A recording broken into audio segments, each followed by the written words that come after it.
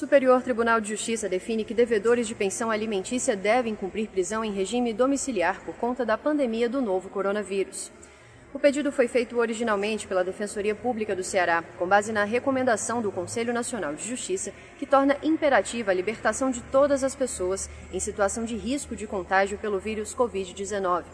A Defensoria destacou que manter presos por dívidas alimentares no sistema carcerário em meio à atual pandemia violaria diversos direitos fundamentais. Ao aceitar o pedido, o ministro do STJ, Paulo de Tarso Sanseverino, ressaltou que as circunstâncias enfrentadas pelo país são excepcionais e que a recomendação do CNJ busca evitar grandes aglomerações em unidades prisionais insalubres, onde há dificuldade para garantir procedimentos mínimos de higiene e isolamento rápido daqueles que apresentam sintomas do novo coronavírus.